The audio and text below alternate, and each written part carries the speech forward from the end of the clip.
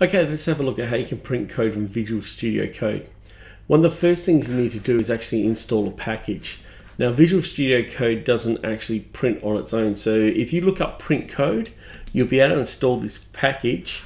There is information on how to do this, but in short, we're going to press the F1 key, then we're going to select or type print code, and then it will launch a browser and we'll be able to print. So let's go have a look at that. So here we go, I've got a file that's open and it's called functions.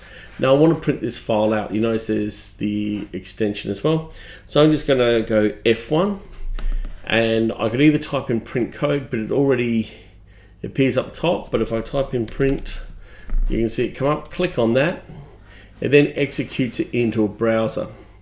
Once you're here, you're able to send it to a printer or you can save it as a PDF. I might actually save it as a PDF and click on save It'll ask me where to save. I'm just going to put it on my desktop and go save. And then I can actually open that PDF and you can then see all the documentation here. So if I just zoom back out, you can see the page. This way you can actually add this into another document if needed. You can actually just append them into the pages by keep adding them in here and then add that to your assignment to be handed up.